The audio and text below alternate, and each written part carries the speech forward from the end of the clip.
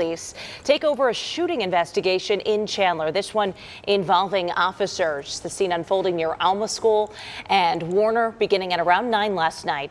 Chandler police getting a call about someone threatening to harm themselves and tell us when they arrived at the home, the man was in the garage and another family member had secured their weapon. However, police say the man pulled a handgun from his waistband and one officer then opened fire, killing that man. Now, as we mentioned, Mesa will take over this investigation now as part of that new East Valley Critical Incident Response Team, which launched back on July 1st. As soon as we get an update on this shooting as well, we'll let you know.